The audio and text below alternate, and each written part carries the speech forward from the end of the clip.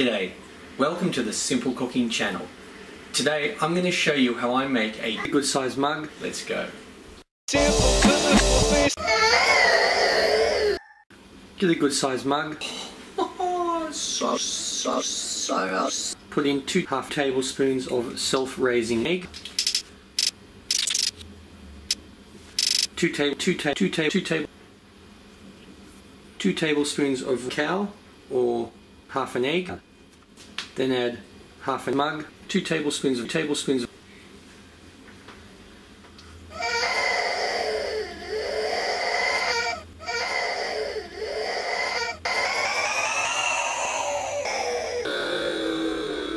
one tablespoon of baby this in the microwave for about 1 minute and 20 seconds. Could take depending on how strong your stick is minute and 40 could be minute and 40 1 minute and 42